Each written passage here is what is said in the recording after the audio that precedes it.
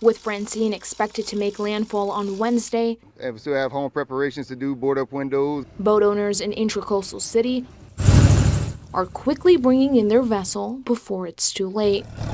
Longtime Vermilion Parish resident Dane LeBlanc knows all too well why you shouldn't wait until the last minute. Well, we're just pulling all our stuff out of our marsh. Uh, that way the storm surge don't take it. 05, Rita took a few of our, our boats, uh, some of our blinds out of the marsh.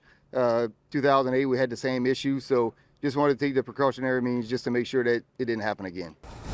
Other boat owners following suit. And from one boat owner to the next, Easy. LeBlanc says whenever you can lend a helping hand, you should. And that's their livelihood, you know, and they're just trying to get out and make sure all their stuff is done as well. So any way that, that we could help in Vermilion Parish uh, and, in the United States, that's, I mean, that's the way to do it. Download the KATC weather app to see a live Doppler from your phone and get real time weather alerts. Reporting in Intracoastal City, I'm Penelope Lopez, your Vermilion Parish reporter.